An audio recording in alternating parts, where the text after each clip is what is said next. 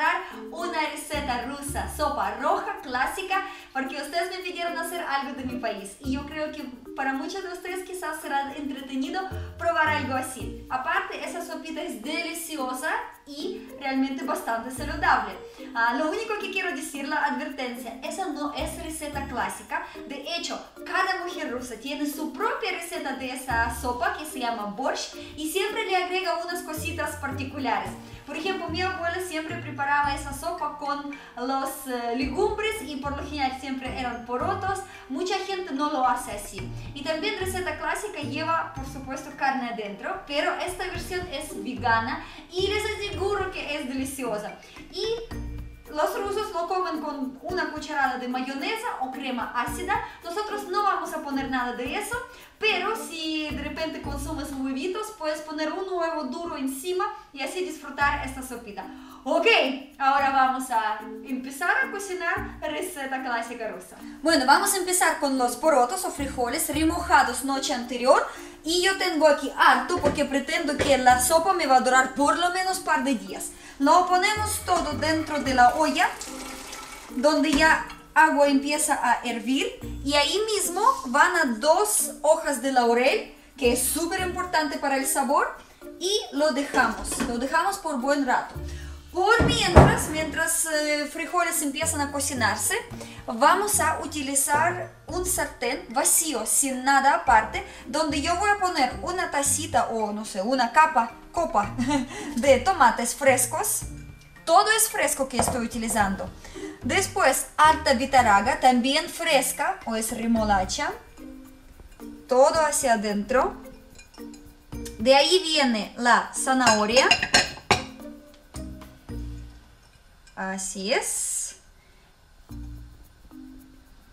Y esto vamos a dejar a cocinar bajo la tapa hasta que todo va a estar listo. Tú puedes agregar aquí un poco de pimienta negra, súper rico. Y más adelante vamos a agregarle un poco de pasta de tomates o salsa de tomates. Es opcional, puedes simplemente echarle más tomates frescos, pero yo prefiero para la consistencia. Y cuando compras algo ya hecho, asegúrate que los ingredientes están bien, sin eh, adicionales cosas. Y este tiene solo sal y tomates. Bueno, vamos a cocinar y en unos 15 minutos vamos a volver a agregar las cosas. Al pasar 15 minutos vamos a agregar a los porotos papas para que siga cocinando todo junto. Y sabemos que porotitos se demoran bastante tiempo en cocinarse así que los dejamos hasta que estén listas. Y ahora en nuestra mezcla de vitaraga, zanahoria y otras vegetales vamos a echar un poquito de esa pasta que les conté anteriormente para tener más sabor. Yo le echo siempre al ojo más o menos por ahí. Yo creo que está bien. Vamos a revolver y también eso tenemos que dejar hasta el punto cuando la betaraga y zanahoria se ponen blanditas para que no estén crujientes. Y tienes que ir probando y cuando está listo simplemente lo cortas y dejas reposar bajo mm, la tapa hasta que vas a ver que tus eh, frijoles ya también están bien cociditos. esto lo tenemos listo, ahora nos falta solo agregar sal. A tu gusto yo utilizo sal marina y ya corté el gas, lo vamos a dejar reposar. Y para los eh, porotos ya falta poco, yo creo que unos 10 minutitos más. Y eso cuando voy a agregar el chucrut. En realidad es totalmente opcional, por lo general eh, la sopa se cocina con repollo fresco, pero también se puede hacer con chucrut.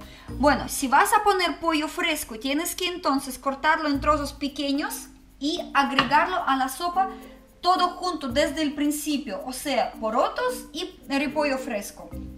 Pero si vas a utilizar chucrut ya está listo, entonces en esta etapa lo agrego porque prácticamente es cocido solo para que la sopa absorbe ese sabor. Bueno, esperaremos un poco para que los porotos estén listos y de ahí vamos a finalizar la preparación. Por fin mis porotos están listos, ahora tenemos que todo eso pasar a la olla también agregamos ahora sal.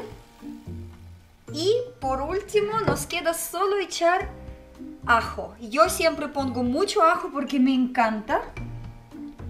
Y va a dar muy buen sabor.